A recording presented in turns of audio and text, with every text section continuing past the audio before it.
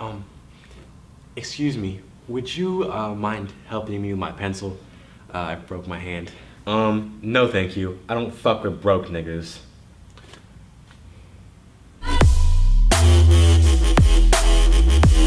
What's good everybody, it's your boy Rhino, and today we're talking about things girls do that guys hate. Luckily, not all girls do the things that I'm about to describe, luckily, but all the things that you're about to see I have witnessed personally and I'm obtaining these from my personal experience. So let's hop into it. Number one, girls roasting themselves. I don't know why girls feel the need to give themselves a public roasting session in front of everybody because they feel insecure about something they call themselves ugly or fat or all these terrible things and they will find the most mean names to call themselves. And you don't need to do that because you're beautiful just the way you are. Hey, uh, we're gonna go to the beach later. Did you wanna come? The beach? The fucking beach? Have you seen what I look like? I'm a freaking whale. Oh, it's Shamu. Coming to the freaking beach. Let's pour some water on her so she can freaking live. Like freaking Fiona, I'm a fat hog. Freaking biggest loser contestant. Look at me, I'm a fucking monster. So, uh, so no, you don't, you know? Number two, assuming every single guy on the face of the earth is trying to get with them. Nowadays, guys can't even be nice and cordial and friendly with a girl without them thinking they have some alternate explicit motives.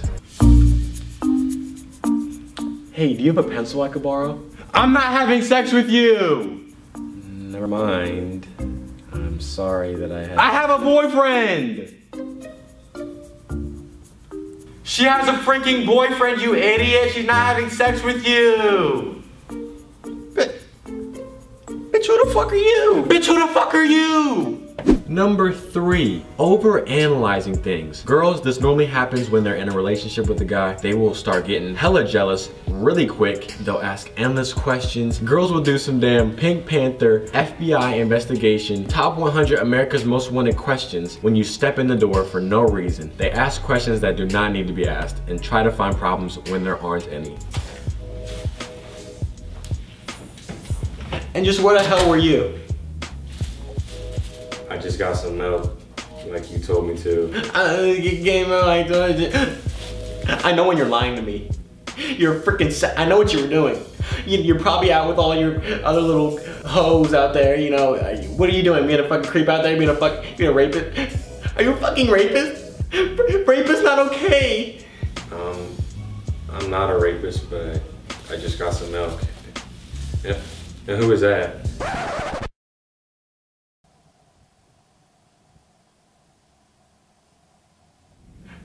Don't try to deflect this back on me because you know you already know that you would be having other people over too if you were bored. Uh,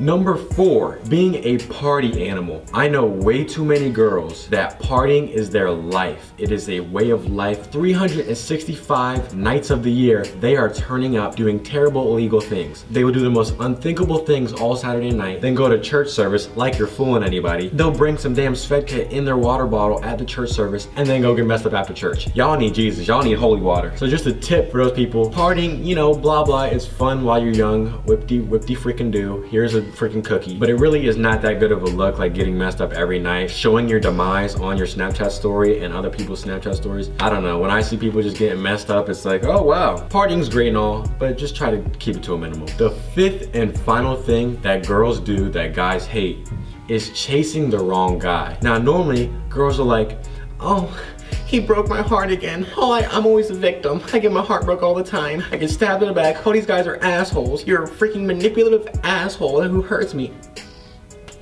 Maybe it's because you keep going to the same type of guy over and over again. Maybe for once in your life, you could give the nice guy a chance.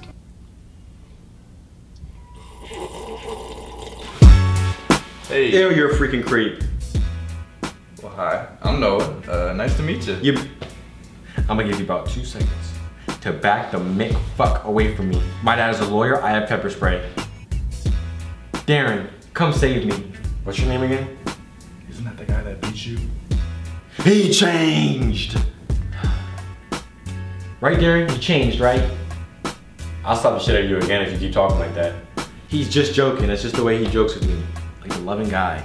If you give him a chance. So basically, as a girl, if you're not treating how you want to be treated by your man, then you're gonna have to give him that Chris Brown deuces because you deserve much better than that and you deserve to be treated how you want to be treated. I should write a book. So that's what we got for you today. We really hope you enjoyed it. Once again, this is all good fun. Make sure you guys hit the subscribe button if you enjoyed this. Share it with your friends if you can relate. Thank you for the continued support. And until next time,